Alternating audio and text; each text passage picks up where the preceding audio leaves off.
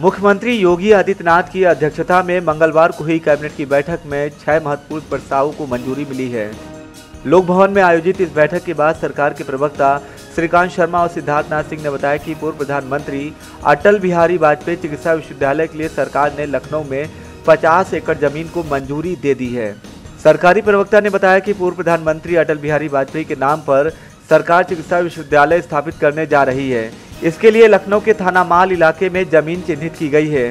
इसके साथ ही कैबिनेट के पास हुए प्रस्तावों में सूचना विभाग के संयुक्त निदेशक सैयद अमजद हुसैन को पदाउन्नत करने, विभिन्न विभागों के निगमों और परिषदों में नियुक्त गैर सरकारी, गैर राजनीतिक उपाध्यक्षों को प्रति माह बतौर भत्ता दस हज़ार रुपये देने जैसे निर्णय शामिल हैं। सरकारी प्रवक्ता द्वारा बताया गया कि अटल बिहारी वाजपेयी चिकित्सा विश्वविद्यालय चक गजरिया फार्म के पास 50 एकड़ रकबे में बनेगा। सरकार के प्रवक्ता श्रीकांत शर्मा ने बताया कि सूचना जनसंपर्क विभाग के संयुक्त निदेशक सैयद अमजद हुसैन को डिमोट करने का निर्णय भी कैबिनेट में लिया गया है। सैयद अमजद हुसैन के खिलाफ सात बिंदुओं पर जाँच चल रही थी। ये जाँच वित्तीय अनियमितता के संबंध में थी। लोक सेवा आयोग से कोई सहमति न मिलने पर कैबिनेट ने उनके पदाउन्नत करने का निर्णय लिया है।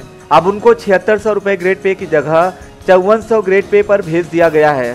उन्होंने बताया कि पंचम राज्य वित्त आयोग की कमेटी के अध्यक्ष सुरेश खन्ना बनाए गए हैं। इसमें नगर विकास पंचायती राज, ग्राम विकास के मंत्री सदस्य के तौर पर शामिल किए गए हैं। मंत्री भूपेन्द्र चौधरी, आशुतोष टंडन, मोती सिंह इसके सदस्य हैं। इसके अलावा कैबिनेट ने विधानसभा और विधान परिषद के सत्रावसन को भी मंजूरी दे दी है। थे वो चौवन सौ ग्रेड पे पे। इस समय थे वो छिहत्तर सौ ग्रेड पे पे। अब वो चौवन सौ ग्रेड पे वापस रिवर्ट किया गया उन्हें। Assistant director Urdu. हाँ, समकक्ष पद होता है उसका रैंक चौवन सौ बेसिक पे है इस समय छिहत्तर सौ पे थे वापस रिवर्ट कर दिए गए। लखनऊ से जनमत न्यूज़ के लिए अंबुज मिश्रा की रिपोर्ट।